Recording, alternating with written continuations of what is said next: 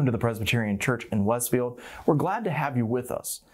And this Sunday, we're doing something a little bit different. I want to know have you ever been uh, asked a question that stops you dead in your tracks, or maybe even bigger, changes the entire trajectory of your life? Sometimes it could be a mentor asking a probing question that sets you off on a new career or educational track a lot of the time it can be something like an engagement or you know a question from a family member that opens up a new future for you. But there are so many moments in our life that have begun in some way or another with a question. Now in his brief ministry jesus used questions over and over again to turn people's lives around and to define now all these years later our own lives to center us once more as people and I'm asking that you maybe join us over the next few weeks, four to be exact, as we take a fresh look at a few of the questions that Jesus asked in his ministry and reflect on what they have to do with us today. And today, Jesus asked, Do you want to get well?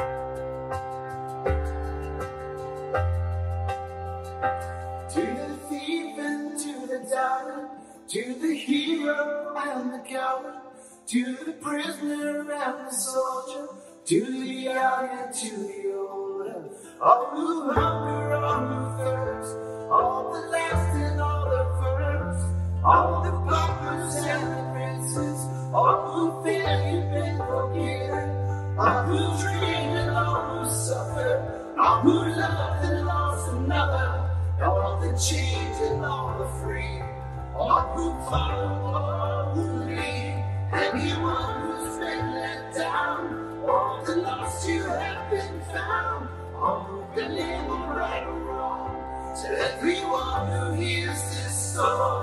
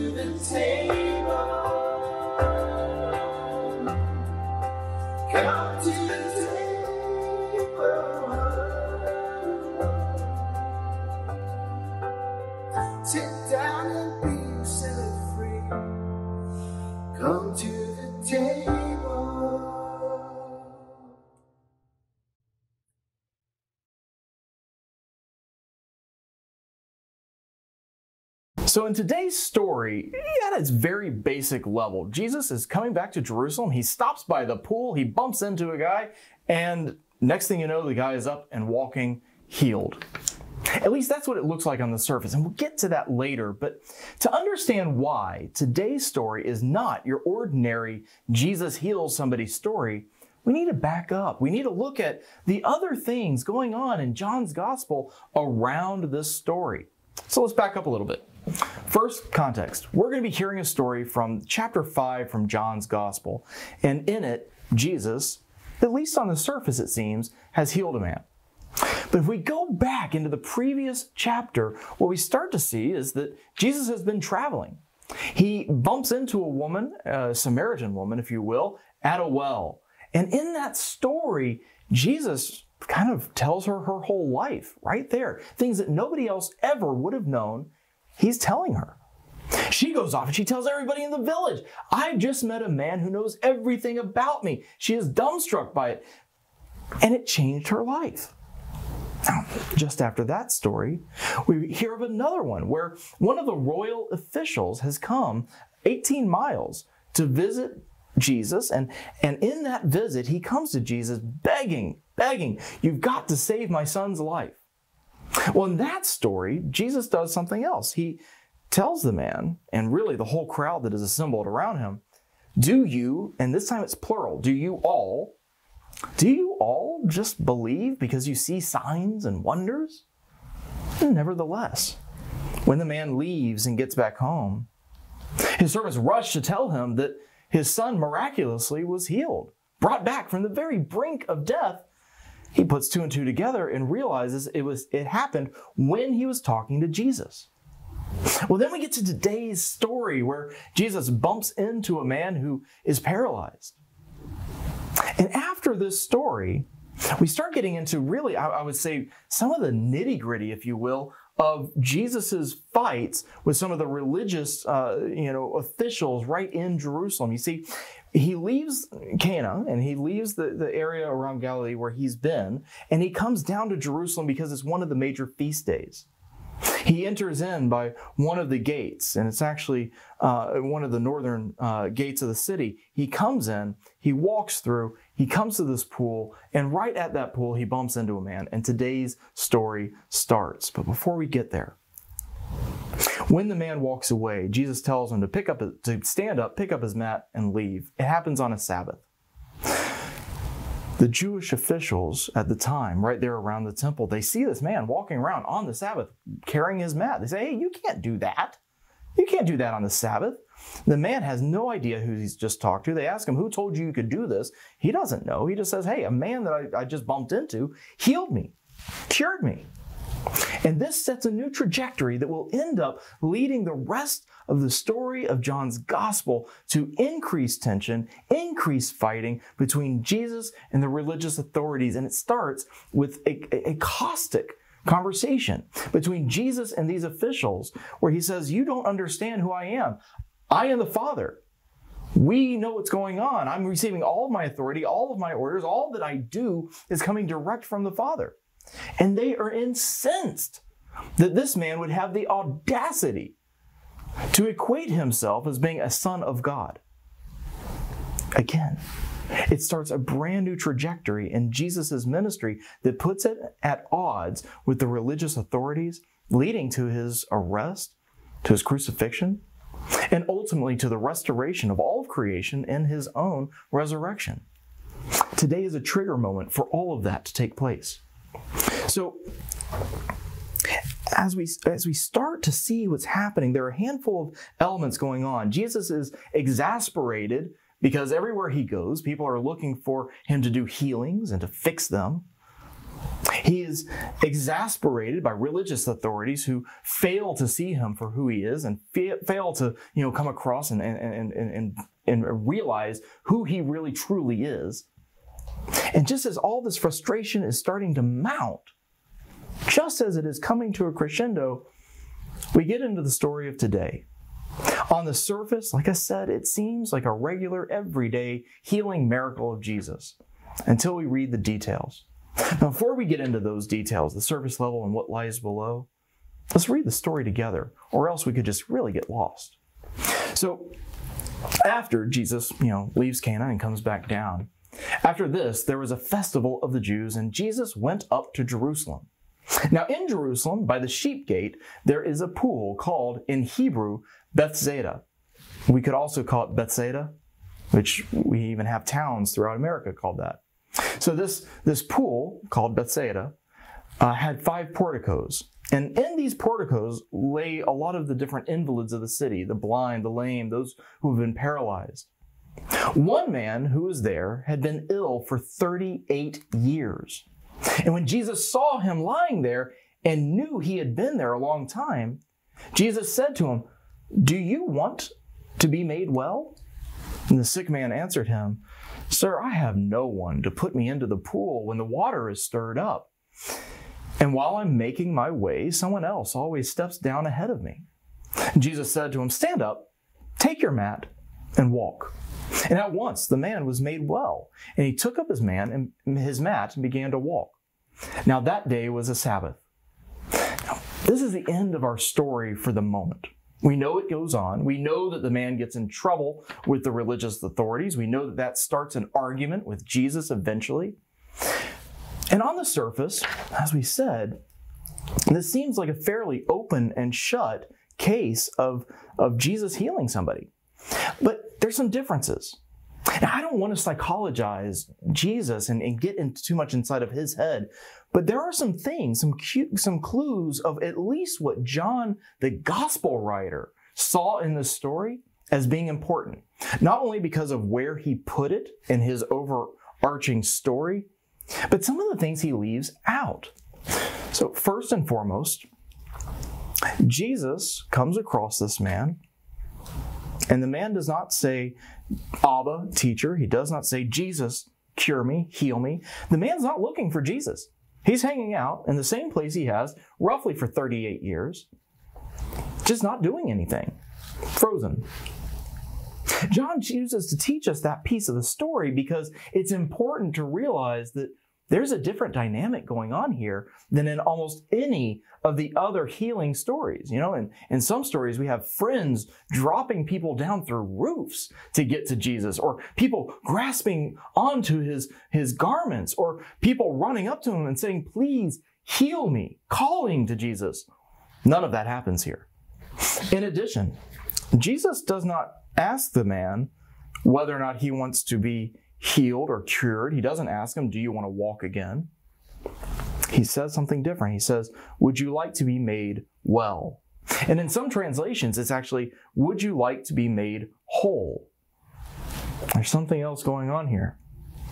And in the end, Jesus doesn't say, Your faith has made you well at all, which is usually what we tend to hear is that the person knows Jesus, believes in the divinity of Jesus, believes that Jesus can do something for him, has faith that things can change, and that's what causes the healing. None of that happens. John is up to something new. John is up to something different.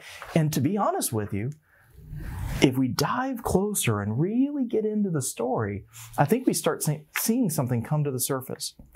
You see, with Jesus in this particular story, he doesn't know that he's talking to Jesus. He's talking to a man who happens to have just bumped into him. And as Jesus goes along, we hear this weird little story. When, the, when Jesus says, Do you want to be made well or do you want to be made whole? The man responds with, Hey, look, I don't have anybody to help me. Nobody's taking me to the pool. And, and every time I try to move there, people cut in front of me. They get in there and I can't do anything. And the man's been sitting there, frozen, stuck, for all this time, unable to move forward. I think that one of the things that, that, that, that at least rings out to me is that Jesus, I believe, because he's not talking about just get up and walk or do you want to walk again, the paralysis Jesus sees is more than physical. I believe Jesus is seeing in this man a spiritual paralysis that he can't move on from. When he says, every time that the water starts to bubble, somebody else cuts in front of me.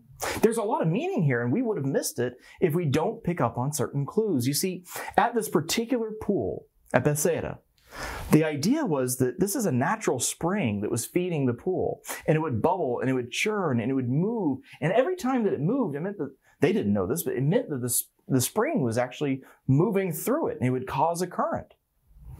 But at the time, what they actually thought was that this was happening because of some holy means.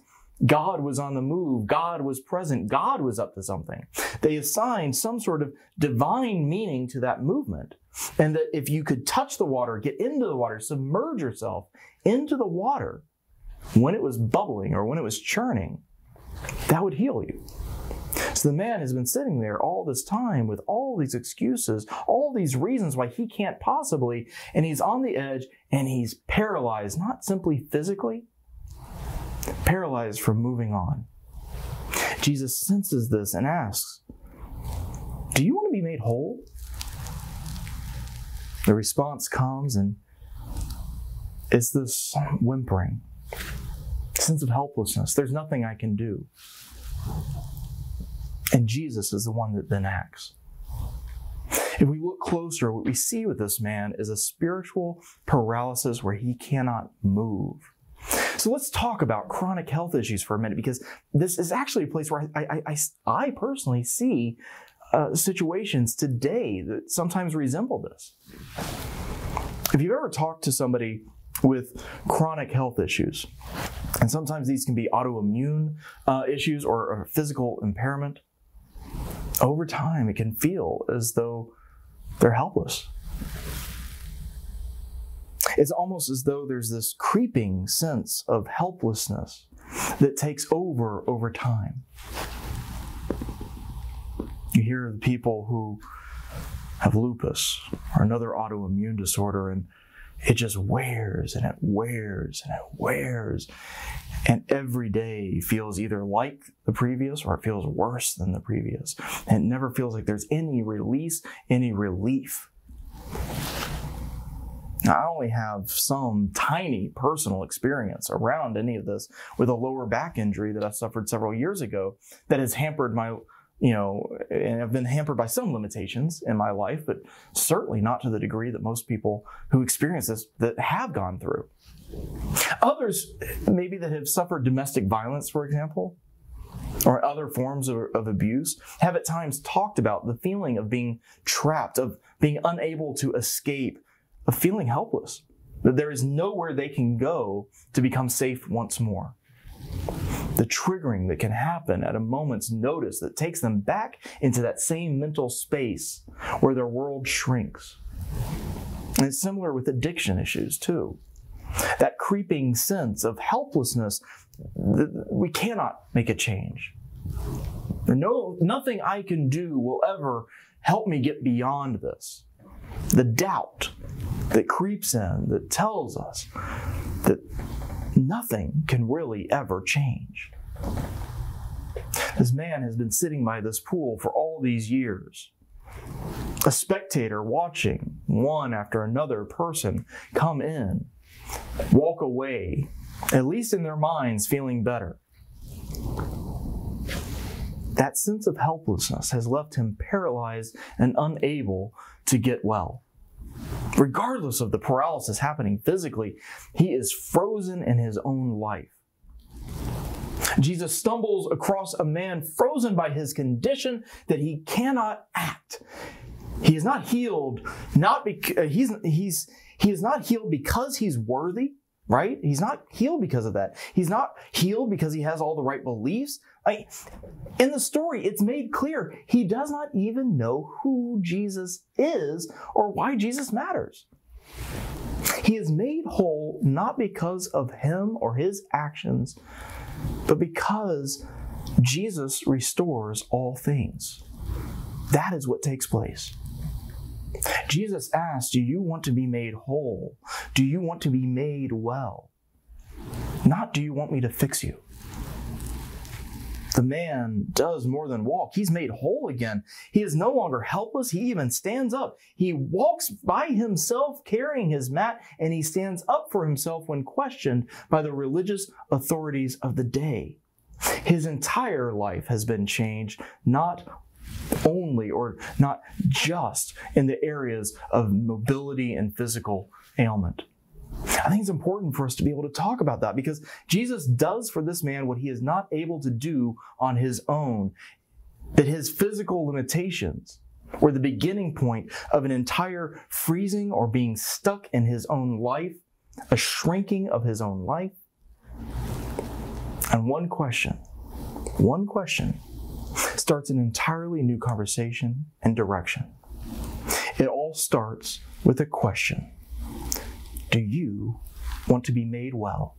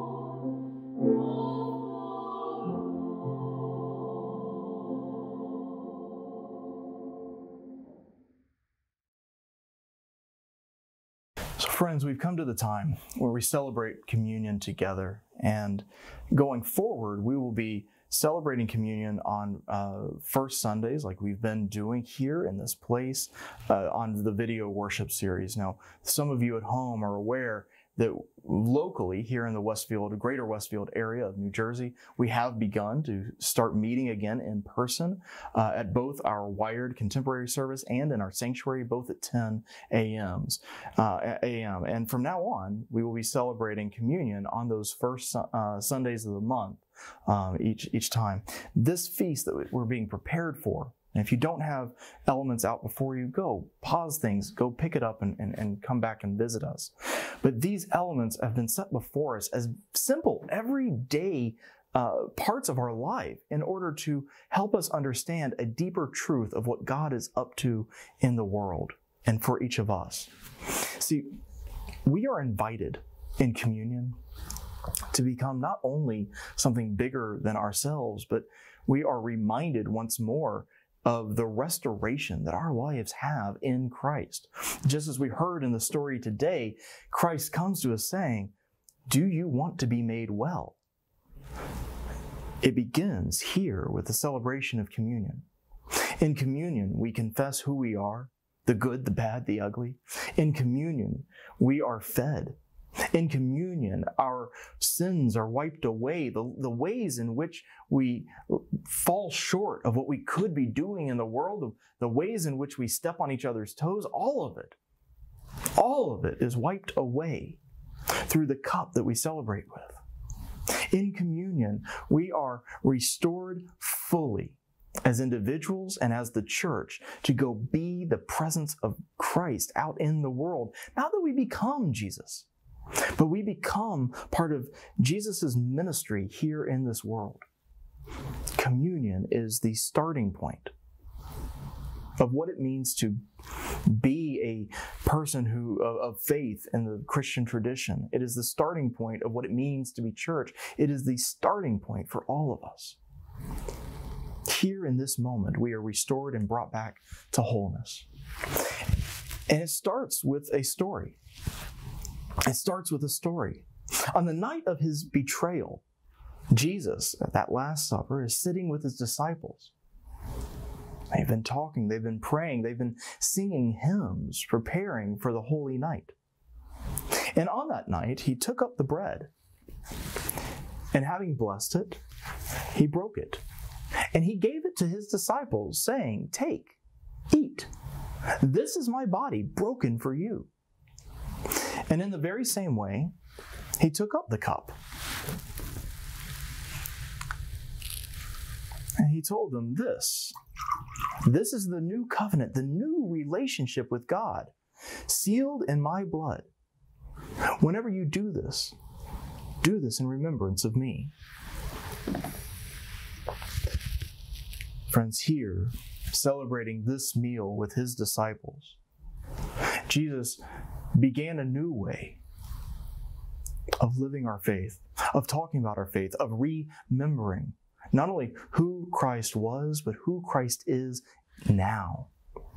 And if you're fairly new to worship with us, or if you're simply shy, it may feel odd sometimes to share your prayers in such a public setting, especially online. But have no fear. If you prefer, you can actually reach out. If you don't want to reach out in the comment section and share with us, you can reach out through the church website to actually talk directly with me about your prayer concerns, anything that might be weighing on you. However, at the same time, I hope that you might consider sharing any prayer concerns that you may have in the comment section of whatever platform it is that you found us on so that we can make your prayers our prayers. Now, this time I ask, join me. Join me here in this moment as we pray together. Gracious and holy Father, you have you have been with us since the beginning. In creation itself, you pull order out of chaos. And in the chaos that we have made throughout all of history, you have been there, setting things right, correcting your children, giving us boundaries, giving us at sometimes what we think is punishment, but often are the consequences of our own actions. In the days of Abraham, you met him as a stranger. And then as a close friend, you guided him, you walked him through his entire life. With the Israelites in bondage, you came. You rescued them. You pulled them out of bondage. You taught them to be your children. Their time in the wilderness was a time of learning to trust you. Even as the fall of Israel and Judah would later happen, you sent prophets their way to guide them back, to give them hope. And in due time, you brought us your Son, the one in whom we find restoration and reconciliation of all of creation back to you. And even as we wait for the day to come when all things are made new once more, we know, we trust that what started in Him will come to fruition. We ask that your Holy Spirit rest upon these everyday simple elements of bread and cup, that somehow, in the mystery of your love, they will become the true spiritual presence of your Son, Christ, feeding us and nourishing us, sustaining us, giving us life, but also giving us strength to live as your children, your servants out in the world, loving this creation you so adore, and helping us become light in dark places. We ask at this time that you also listen to the prayers that we bring in the comments. That you pay attention to the cries of your children in all corners of this world.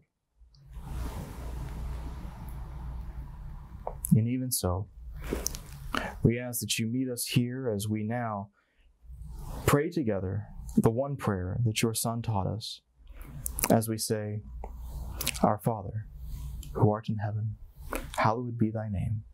Thy kingdom come, thy will be done, on earth as it is in heaven. Give us this day our daily bread, and forgive us our debts, as we forgive our debtors. And lead us not into temptation, but deliver us from evil. For thine is the kingdom, and the power, and the glory forever. Amen.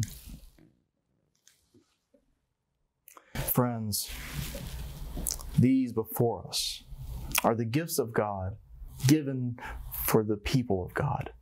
Come, take, eat.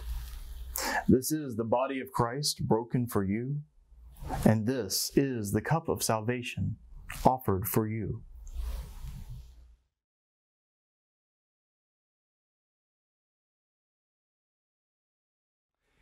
You know, one of the deepest mysteries of our faith tradition is the affirmation that God meets us just as we are, but loves us too much to leave us that way.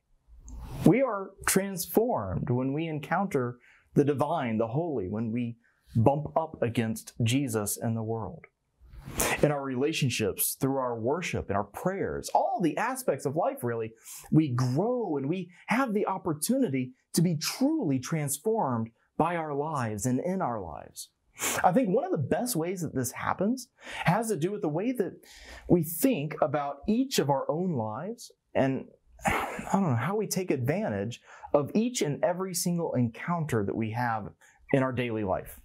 This can be the little mundane moments of sitting in a carpool lane or out in a grocery store or walking, you know, the dog, walking our neighborhoods, being at work. In the so-called church world, the word offering is almost always a stand in for give us your money. But in reality, it is an invitation to examine how each of our lives becomes a reflection of, of how God meets us. And here's what I mean. Okay, to demystify it a little bit. If God meets us right where we are, but loves us way too much to leave us there, then how do we end up doing the very same thing with others we meet in day to day life? I think that's the question. How is it that we become a reflection of Christ's question? Do you want to be made well? When we see hurt, when we see pain, when we see people pushed to the margins of society, how do we ask that same question? How do we meet the person where they are? The question I think we could be even asking ourselves is this Am I leaving a mark?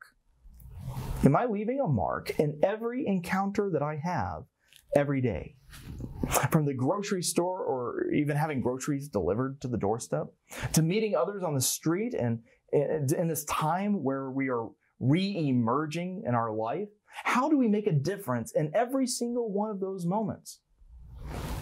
Our time, our gifts, our listening, and yes, even the fruits of our labor can all change a life. You can change a life.